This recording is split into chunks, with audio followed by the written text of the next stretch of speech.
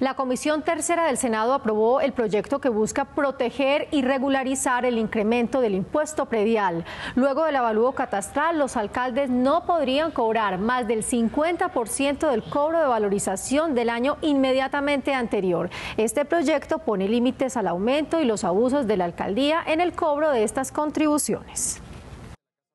Hoy lo que le estamos diciendo es actualizado el predial, usted solamente puede subir o puede incrementar hasta el 50%. Esto es una protección al usuario y al mismo tiempo una protección que hay a los municipios, sobre todo intermedios, cuyas entradas o ingresos corrientes significan única y exclusivamente ese recaudo de predial o de industria y comercio.